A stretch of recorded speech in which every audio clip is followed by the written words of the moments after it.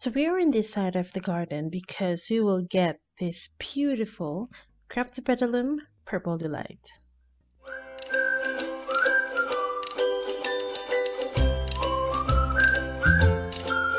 Hi everyone, this is Leslie of Succulent Social. We are here in this part of the garden that has been getting the most sun. That is the reason why this Graptopetalum purple, purple delight are all located here because they're big sun lover um, type of succulents.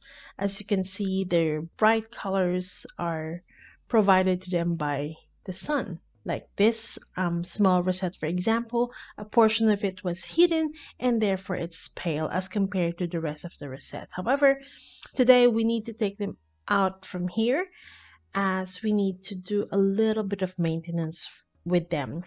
About two weeks ago, this area of the garden has been hardly hit by hail. So as you can see, their leaves have scars, marks, some even have holes from the hail. So today we are going to do a little bit of saving. I have this, uh, my tools here, and I also have prepared a succulent tray where we will be putting the cuttings because today we will be we will do a mixture of stem cutting as well as um, leaf propagation. So leaf propagation is when a leaf like this one grows pup and when you put them in the soil eventually the pup will grow bigger and the roots will um, develop and establish and once they're well rooted or has grown lots of roots, then you can transfer them to individual pots such as this. And in here, they will continue to grow and um, be more established. And the reason I'm saying this whole process to you at the onset of this video is just to sort of inspire you that even leaves that are damaged can still continue to grow and can give you something beautiful and oops and um you know just just like in life you if sometimes you feel that there is already no use of it or sometimes you think that it is already totally damaged but something beautiful can still come out of it. Wow that's so deep. Anyway so they will continue to grow in this pot maybe until they're as big as this. Right so the other part that we will do is the propagation by stem cutting. So that is where we cut um, the stems. And when we do so, I always try to do um, like a diagonal way just to provide more surface area for roots to grow. So the cuttings that we cut um, will just be dipped with some cinnamon powder and they will be air dried for a few days. When they're completely um, dried and when wound has callus, we will plant them in a well draining soil where they will develop roots, they will grow, and eventually bear a new plant.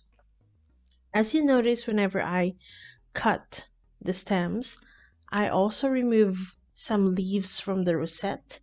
So these are either just the lower leaves that have been damaged um, as I try to remove them until I'm happy with the look of the rosette that's left, meaning no more damaged leaves and all the remaining rosettes are in nice shape.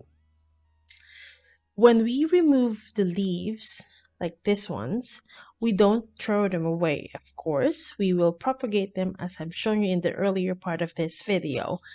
And for us to be successful with our propagation, we have to remove the leaves in a certain way. So as we do that, we need to make sure that the whole leaf has been plucked out from the rosette. It has to be a clean cut. What do we mean by clean cut?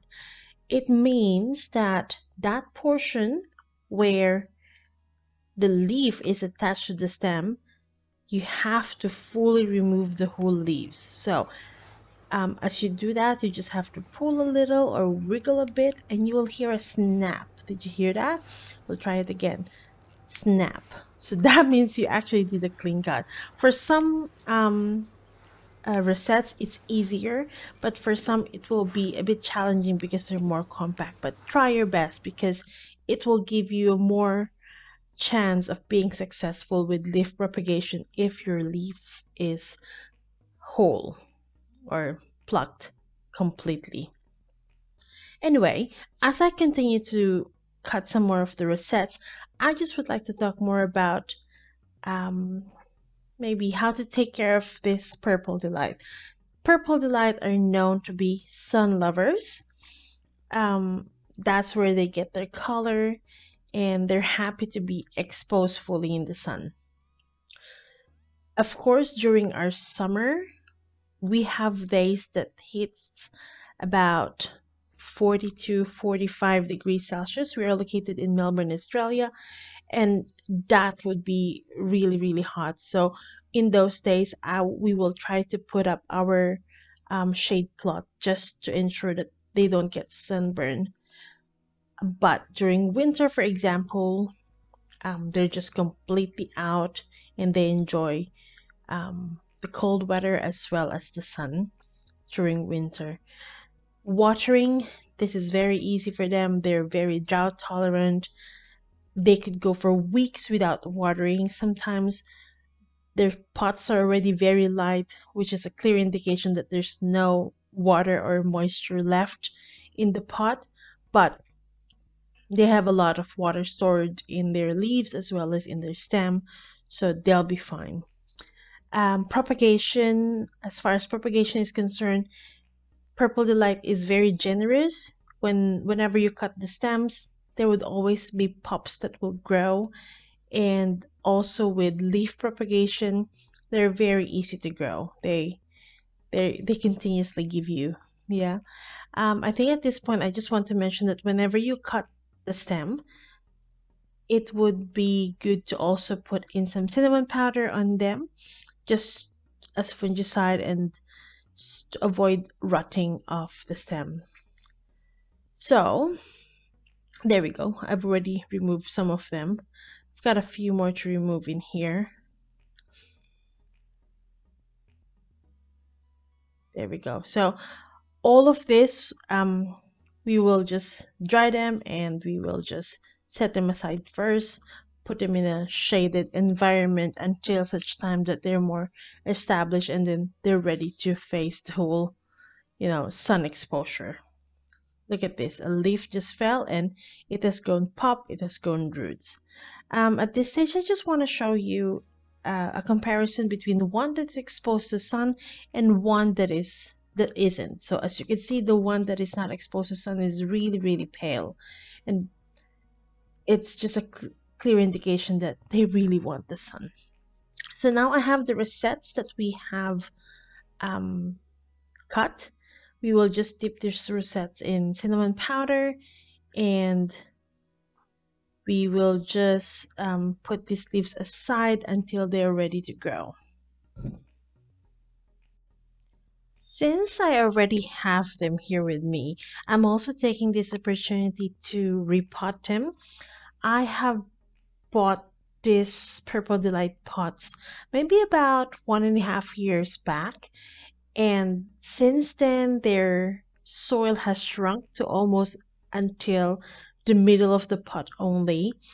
And I think it's due time for them to be repotted or and at the same time we change the soil as you can see this the soil has been well it has hardened it's very compact um, it's like a cement actually. Um, so it's it's it's time for us to remove this soil. So what I'm gonna do is I will just carefully well remove all the weeds first and then loosen up the soil um, gently remove the soil to expose the roots i'm not going to remove all of the soil I will remove a portion of them. I don't want to disrupt the roots so much. So I will remove just a portion and then we will put them in this soil mix that we have, which is very airy, um, it has grit and even if you do like this with your hand they don't like crumple together so I am repurposing this or reusing this old pot that I have here which is just a perfect size for our purple delight. A little bit of soil at the bottom or at the base of the pot and then you will put the purple delight on top. Um, and of course we will just put additional soil on the side and just to make sure that all the roots are fully covered and then they will just eventually grow and penetrate through the rest of the new soil that we've just added.